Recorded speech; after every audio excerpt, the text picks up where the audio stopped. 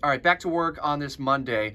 A lot of storylines to bring your way throughout Jacksonville's morning news. We're live until 10, and we're always streaming in the WOKV app. Mike Buresh is tracking now Tropical Storm Idalia, likely to go hurricane at any point, and could actually strengthen into a major Category 3 hurricane before landfall early Wednesday morning somewhere in Florida's Big Bend. What it means here at home will continue to change and evolve, so stay up to date on the forecast. But right now, Mike says his greatest concern concern locally is going to be winds. With the potential of tropical storm force or hurricane force winds inland west of I 95 through the day on Wednesday. We're not expecting a major rain event out of Idalia, anywhere between 2 to 4 inches around Highway 301, 1 to 3 inches perhaps along the I 95 corridor to the beaches. Storm surge also not a significant threat. It looks like the winds and the potential for tornadoes will be the biggest threats, but a lot will change with this forecast. So make sure you're listening in for updates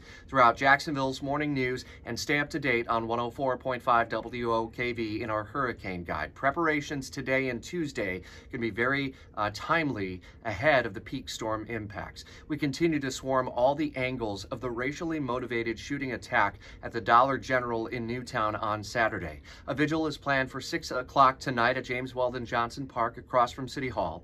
We have a special 9 a.m. hour of Jacksonville's morning news dedicated to the community community and dedicated really to healing.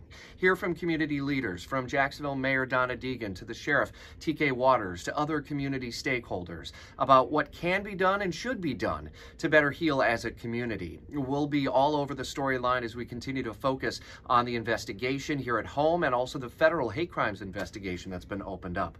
A lot to still unpack for you. Stay tuned to 104.5 WOKV for continuing coverage of these and other stories. We're live until 10 and we'll be live throughout the duration of the threats, whatever Idalia happens to bring this week.